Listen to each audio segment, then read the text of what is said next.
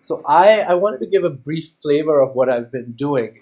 Also give you a little sense of what I did during my fellowship, which I haven't pursued over the last five years, but I'm still passionate about for various reasons that I will discuss.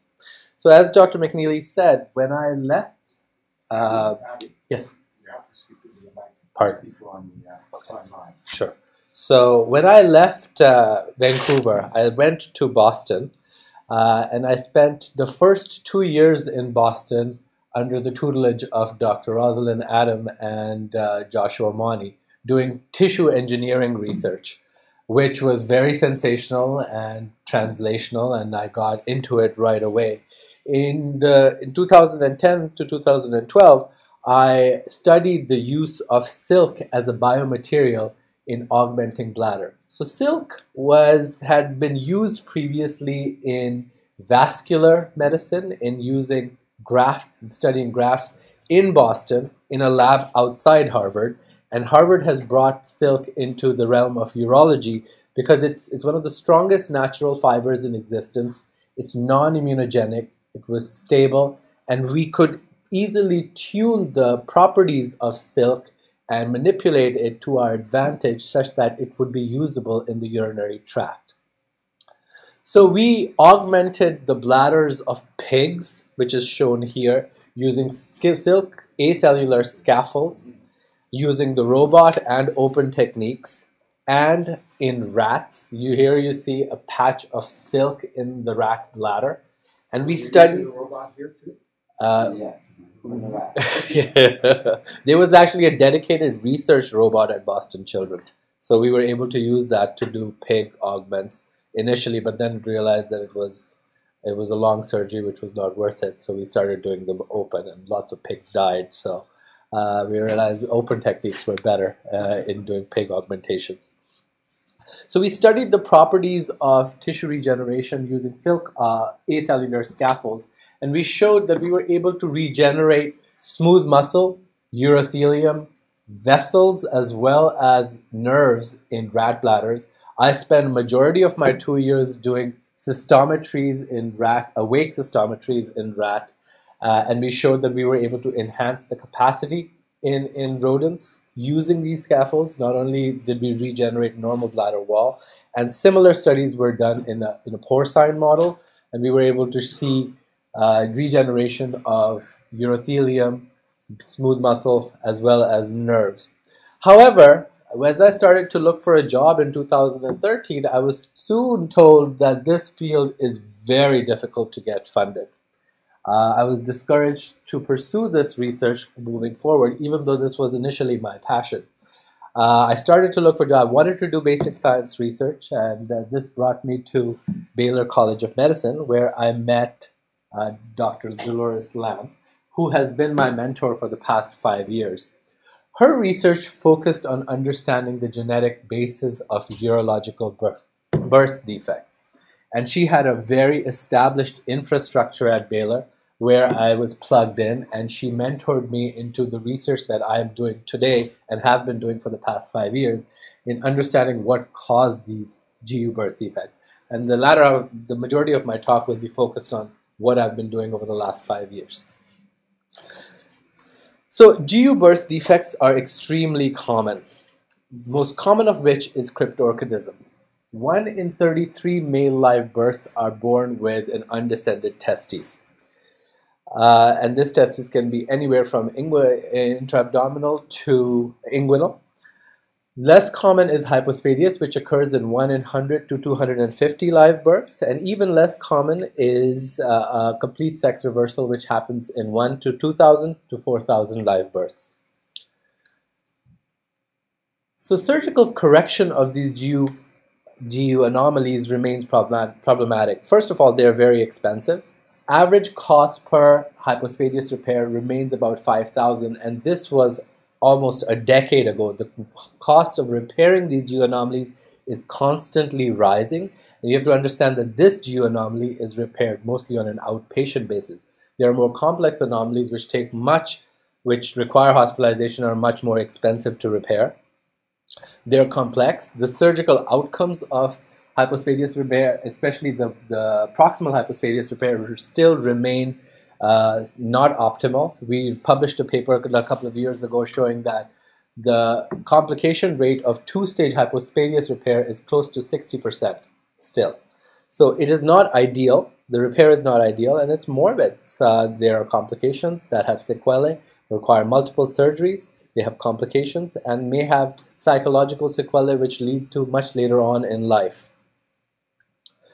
So while we know that chromosomal abnormalities and uh, environmental toxin cause some of these abnormalities, majority of these GU birth, defects have no known cause.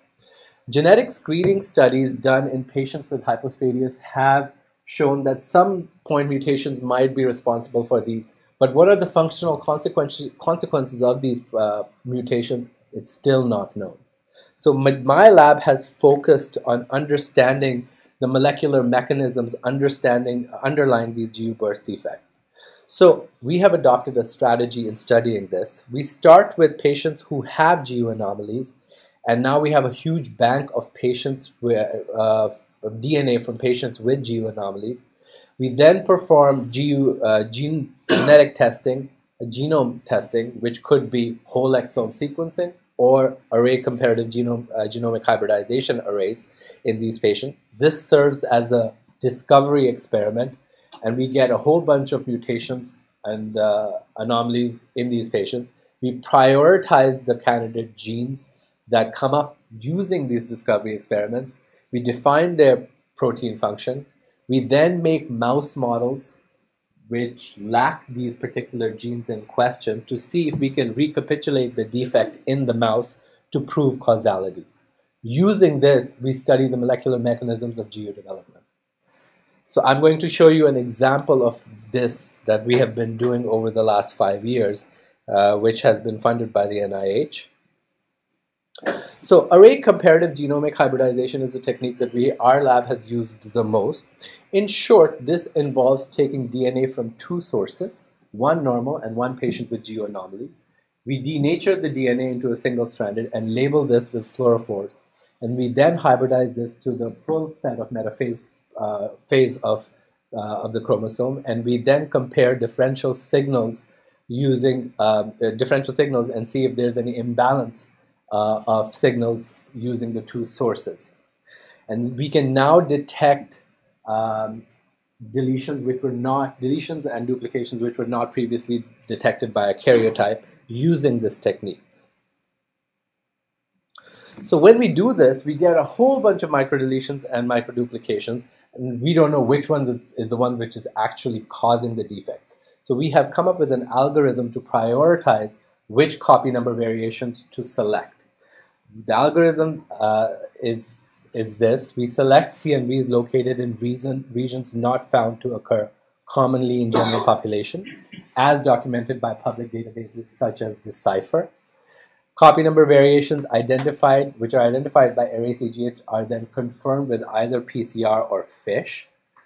A CNV is considered to be more pathogenic if it is a deletion, a homozygous deletion or an amplification, amplification with more than one copy gain. And then we look for evidence of causality, which could be that it has to be de novo chain present in, in not present in either patient. Um, it's a clustering of unrelated patients with GU birth defects at overlapping regions, or significant association with GU defects when compared with subjects without GU defects. So using ArrayCGH, we discovered two patients with defects at locus 16p11.2 and concomitant genitourinary tract anomalies, the first of which is shown here. This patient had a microduplication spanning this region, and this patient also had hypospadias, cryptorchidism, and micropenis. A de novo deletion at the same locus was identified in a second child with hypospadias by ArrayCGH. This shows the minimally deleted region in another ArrayCGH patient who had isolated hypospadias. This locus covered a total of eight complete genes, including the gene of focus KCTD13 and one partial gene. Next, I reviewed each gene in detail, including its known functionality, its expression profile, and any published literature regarding this its role in GU development. Majority of these genes, with the exception of MAZ and KCTD13, are not well expressed in GU tract. Little is known about their function, and there are no reports of their influence on the developing GU tract. Based on this, it was felt that KCTD13 was the most plausible candidate gene responsible for interfering with GU development. KCTD13 is is a gene which encodes for a substrate-specific adapter of E3 ubiquitin ligase. It has known functions in regulation of cytoskeletal structure, cell migration via ubiquitination of a protein called RhoA. It is also known to uh, play a role in regulating cellular progenitors, especially in the nervous system. So given this, we hypothesize that gene dosage changes in KCTD13 re uh, result in aberrant development of the lower urinary tract by impacting androgen receptor signaling. So we confirmed the presence of this duplication by PCR and found that the father uh, found that the father who was asymptomatic also had the same duplication. We screened close to 300 patients and found that CNVs or copy number variation in this gene are more, much more common in patients with GU anomalies compared to patients without.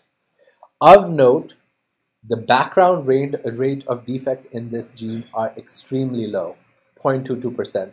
This was based on a study, a population-based study conducted by Tucker et al., which included close to 6,000 patients. So of the seven patients that we found, we found that although majority of them were a lower tract defect, including undescended testes and hypospadias, there were a few who had upper tract defects in, uh, as well, including uh, UPG obstruction and reflux. The red indicates a deletion and the blue indicates a duplication. We then reviewed the literature to see if we could find other patients with defects in this, and we found close to 30 patients with defects in, in this gene, KCTD13, as well as concomitant GU tract anomalies. While majority of these defects were lower urinary tract, which included ambiguous genitalia, undescended testes, and uh, um, other penile anomalies, there were upper tract defects as well. Over here, these are all the patients that we found where red indicates a deletion and the blue indicates a duplication. We then wanted to know if KCTD13 was expressed in the urinary tract. So we conducted in situ hybridization. Uh, antisense uh, in situ hybridization probes were designed against KCTD13, where blue indicates the presence of mRNA of interest. So we see that uh, KCTD13 is robustly expressed in the developing urinary tract. These are embryos, mouse embryos, um, and with the bottommost shows the, the genital tubercle of a mouse embryo, and we see that uh, compared to the control, the KCTD13 was robustly expressed in the urinary tract of the developing mouse. When we look at the penis and testicle in detail, we see that KCTD13 expression changes as the mouse is developing. Initially, in the testis, the KCTD13 expression is limited to, pardon, KCTD13 expression is limited to uh, the, the, the germ cells. However, as the mouse develops and postnatally, this, this expression extends to uh, interstitium and also uh, we see KCTD13 expressed also in Leydig cells. In the penis, we see KC, robust KCTD13 expression in the urethra as well as epithelial lamina. So we see that this molecule is expressed robustly in, in penis and testicle, giving it more plausibility uh, in terms of its effect on the GU tract. We looked at its expression in cell uh, GU tract derived cell lines and we found that KCTD13 was prominently expressed in the cytoplasm of, of uh, urothelial cells, uh, human embryonic kidney cells, uh, uh, smooth muscle cells, giving us more evidence that this was the, the gene which was causing the defect. So how do we prove causality? How do we then prove that this is the gene that actually is causing the defect? We go to the mouse model. We, we used CRISPR-mediated mutagenesis to delete exon 2 of KCTD13 by targeting intronic uh, flanking uh, exon 2 to delete this gene in its entirety. Uh, we then made a mouse heterozygous for KCTD13. This is a slide which shows that in our mouse, we, we lost complete expression of KCTD13 using uh, Western blot and uh, immunohistochemistry. Um, uh, deletion of exon 2 resulted in a denatured protein which was not expressed, which we don't see any expression of. Then we started to phenotype this mouse, focusing on the GU tract. What we found was there was an extremely high incidence of cryptorchidism in the null and heterozygous mouse. As you can see, panel A shows a wild type mouse with both testes present in the scrotum we see a dose-dependent increase in the frequency of cryptorchidism. In panel B, we see a, a, mouse with unilateral cryptorchidism when one of the testicle is present near the bladder and the other is present in the scrotum. That mouse is heterozygous. And then we see a null mouse with both testes present by the bladder in the abdomen. Uh, not only were these testes cryptorchid, but they were significantly smaller compared to the wild type mouse, and there was a dose dependent uh, uh, change in the in the size and the frequency of uh, undescended testes. We also found that the null mouse had significantly reduced epididymis and seminal vesicle weights compared to the wild type mouse, both of which are androgen sensitive organs. We looked at the fertility of these mice and we found that the null mouse was significantly subfertile compared to the null mouse, both in terms of the number of litters produced and the number of pups per litter were significantly lower in the null mouse compared to the, the wild type mouse.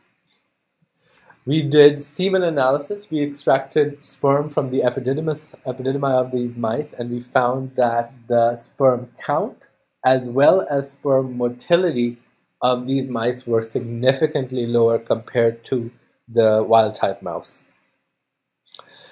Then we looked at the histology of the testes of the uh, of of the aging mice. While the testis histology of a younger mouse was fairly normal. As the mice aged, we saw significant abnormalities in the seminiferous tubules of these mice where some seminiferous tubules showed Sertoli-only phenotype while others showed vacuolation and germ cell depletion. We then focused on Sertoli cell markers to see if there was a reduction in Sertoli cell numbers. So SOX9 is a Sertoli cell marker and we looked at using immunofluorescence and Western, uh, Western blot analysis, we showed that we had reduced Sertoli cell number in the seminiferous tubules of the mutant mouse compared to the wild type mouse. Now, each seminiferous, each Sertoli cell can only support a set number of spermatogonia. So, because the Sertoli cell were reduced, we wanted to see if the spermatogonia were also reduced. So, we looked at uh, the PLZF, which is a marker of spermatogonia, and we also found that spermatogonia per spertolis per seminiferous tubule were significantly reduced in the in the mutant mouse.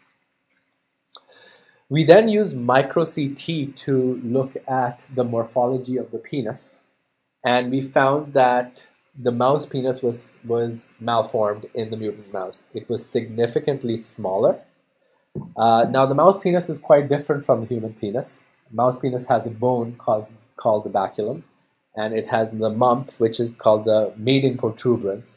We found that the baculum or the bone was shorter and narrower in the mutant mouse compared to the wild type mouse. We found that the mating protuberance was also significantly shorter in the in the in the mutant mouse. then we wanted to understand well what is the mechanism why is are we seeing all these abnormalities so the low the low hanging fruit is the androgen receptor because we know androgen receptor is extremely important it's a member of the steroid receptor family of the nuclear transcription factors uh, we know that It's related to prostate cancer. Indeed, it is. Had low levels. Uh, Uh, we know that it has a well-established role in the development and differentiation of, the, of male genitalia. We know that abnormalities of androgen receptor result in a wide spectrum of disorders of sexual differentiation, ranging from hypospadias to complete sex reversal. And we know that androgen receptor is regula- differentially regulated by E3 ubiquitin ligases, and KCTD13, which is the gene of interest, encodes a substrate-specific adapter of such a ligase. And most importantly, the phenotype seen in both humans, which consist of undescended testes, micropenis, and hypospadias, and in mice, what I just showed you, undescended testes, micropenis, sperm, low sperm count, uh, smaller uh, seminal vesicles, and epididymis, reflect a disturbance of the AR signaling axis. So given the KCDD13 uh, established function in ubiquitination and the under-virilized phenotype that we saw in both humans and mice, we hypothesized that loss of KCTD13 decreases AR degradation and decreases its downstream activity. So first of all, we, we look to see if, if we, in vitro assays, if we knock down or we reduce the mRNA levels of KCTD13, do we have any changes in the expression of or the mRNA levels of AR? And because we know KCTD13 acts at degradation level, we did not see any alteration in mRNA levels uh, with, uh, with KCTD13 loss. However, we did see uh, KCTD, uh, K- KCTD13 loss increases AR protein levels in AR transfected HeLa cells. This was seen at both uh, uh, both uh, with Western blot and in immunohistochemistry. We saw that increased we saw increase although we have an increased levels of cytoplasmic levels of AR, there are decreased nuclear AR levels with androgen with short androgen exposures and KCTD13 knockdown, suggesting that there may be a problem of AR translocation into the nucleus when you take KCTD13 away suggest, uh, perhaps resulting in the underfertilized phenotype that we see. This effect was only seen in short intervals. However, we saw all of AR translocate into the nucleus by 90 minutes. This was confirmed with Western blot analysis.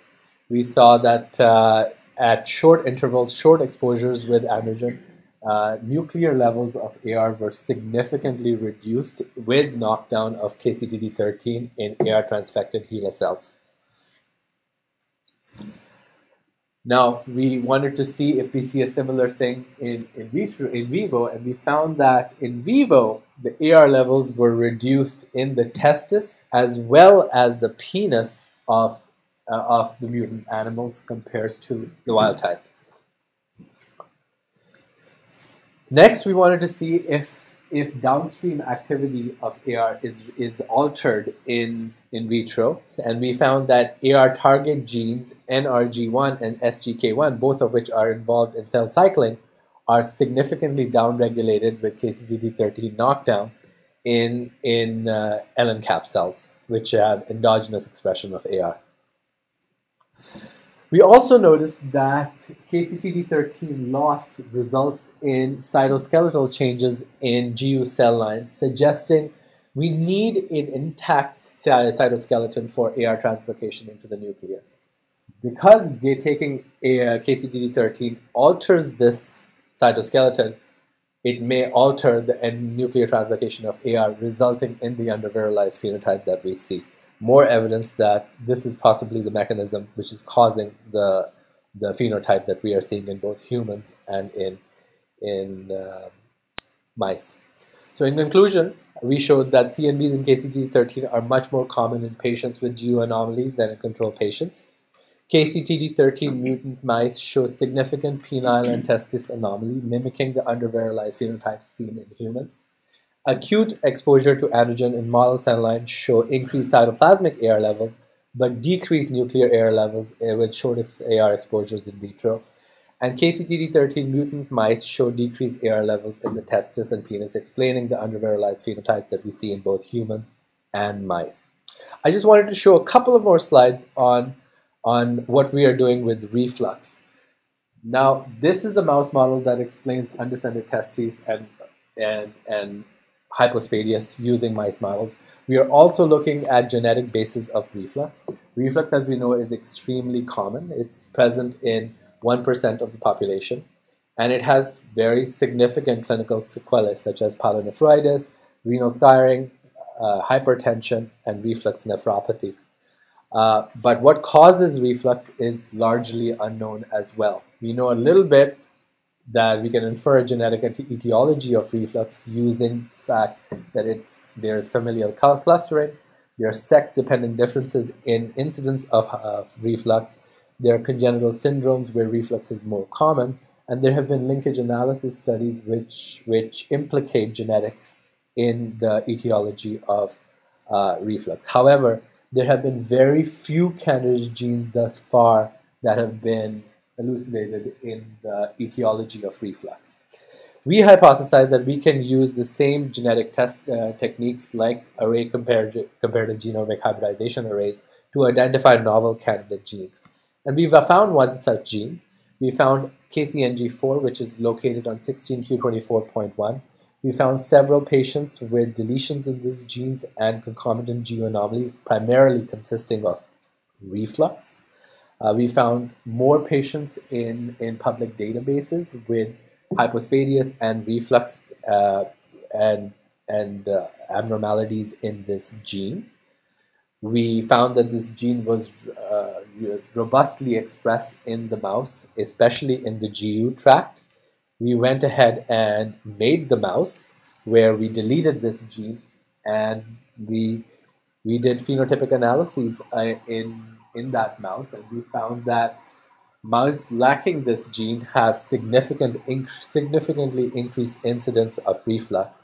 Not only do they have reflux, but they have cystic changes in their kidneys, uh, histologically speaking. So we have discovered a novel model for uh, of reflux where we can study mechanisms underlying reflux and cystic dysplasia, which has not been found before. And this is this has recently been submitted to the NIH for a new grant, which is currently being reviewed. So this is what I've been doing over the last nine years. And I have to thank my mentor, Dr. Dolores Lamb, which has been instrumental in the work that I've been doing over the last 10 years. She has been my, my mentor and my PhDs that are in my lab, Dr. Jorge and Dr. Rivera. Uh, and my clinical partners, especially Dr. Cohen and Dr. Roth, who have supported my research. I have to thank the NIH for their funding support. I was a K 12 scholar, and this research was primarily supported by funds from them over the last five years, and the SPU, uh, who gave me a grant over the last year to support this research. Thank you very much.